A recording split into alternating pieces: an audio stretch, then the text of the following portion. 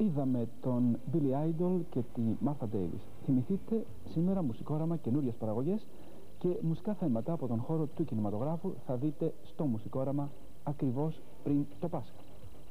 Έχουμε σήμερα τον ε, Michael Jackson σε αποκλειστική μετάδοση από το μουσικόραμα σε ένα τραγούδι που τα κέρδη του θα διατεθούν στο Ίδρυμα Ronald McDonald όπου ζουν και νοσηλεύονται καρκινοπαθείς. Ένας χώρος λοιπόν γεμάτος αντιθέσεις, η pop σκηνή, όπως διαπιστώνουμε όλοι μας. Μια διαρκής επανάσταση και πρωτοπορία η ίδια η φυσιογνωμία της τέχνης. Rick Springfield και μια ωραία παραγωγή και είδαμε και τη Σαμπρίνα σε ένα χορευτικό κομμάτι.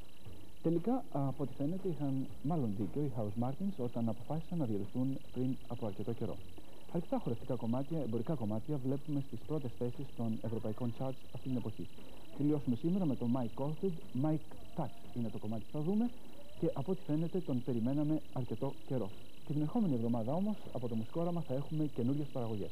Μέχρι λοιπόν την άλλη Παρασκευή, λίγο μετά τις 7, πάρα πολλές ευχές και καλή σας νύχτα.